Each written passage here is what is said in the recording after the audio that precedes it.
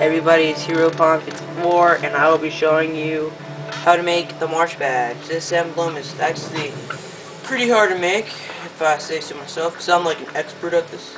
Alright, you want to take a circle, the first page, and make it this pumpkin color. It's getting intense. Alright, that's Alpha Delta 45. Go watch his videos. Also watch mine. Watch them more.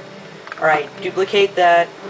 Make it make it a um, outline, scale it down and make it black, duplicate that, make it the same color as the other other outer ring, scale it down some, and actually make this one an actual circle, and put it about right there, so it looks like that. And if you want to, it's pretty optional, you make a shine, like that, and you just keep doing that. And there's the Marsh badge. I will be back with you with the Volcano badge. I'm back again with the Volcano badge, and this one's pretty, pretty hardcore. Alright, what you want to do is start out on the first page with the drop. And it really doesn't matter how big it is. Now you want to make it the darkest red. The one after, no, the one right before the like weird red, reddish purple color. It's the one right before that.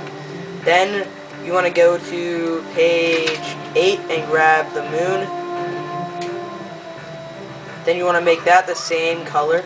If you're something in the background, my friend is playing The Legend of Zelda Ocarina of Time. Right. And now you want to go back to page 4 and grab the shield. That was pretty weird. Happened to me when I was trying to make it and you want to scale this down some. I know this is bigger than before it was to make it look perfect and everything. And then you want to make it... Nothing is perfect. Make it the color right after the orange. Well, actually, no, the orange actually looks better, so go with the light orange. Alright, I will be back with you with the Earth Badge. Um... Yeah, I could not make the feather badge. It's just like it's, it, it's just badge. like that's what I said. Earth, not feather. Okay. I am. It's impossible to make like the rainbow badge. Look at my camera. It has a mind of its own. It it knows when you cannot make it. It's a no go. A no go, and that means yes in Spanish. All right. I don't know what that means. It's like a maybe, and that's like an I don't know, and this is like go nuts spazzing out.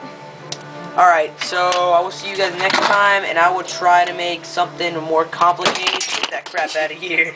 Alright, Why did you see you next my time.